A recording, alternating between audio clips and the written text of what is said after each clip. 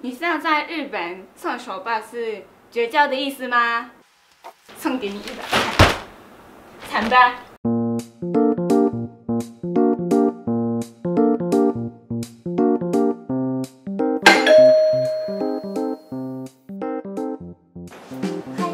这个手帕送你，一定很适合你。你是要在日本送手把是绝交的意思吗？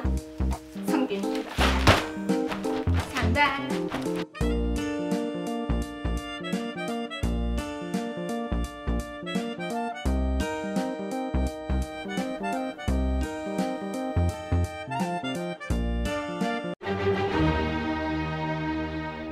日本人去洗澡的地方不会装拖鞋哦。夏天就是喝甜甜的茶才爽。没味道？嗯，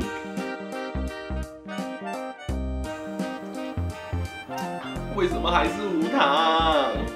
日本的茶通常都是无糖的。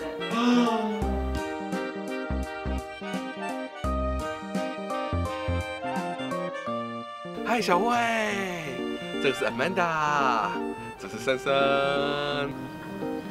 日本人跟朋友见面的时候不会带不认识的人。好好吃，嗯，很好。这个萝卜啊，边走边吃，超好吃的、啊。日本人没有边做边吃的习惯。哎哎哎，停停停停停！你不能这样喝，这样会闹肚子的。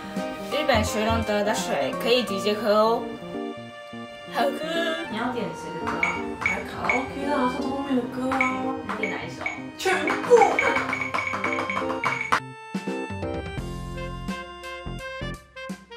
在日本，点歌的习惯是一人一首。哦耶！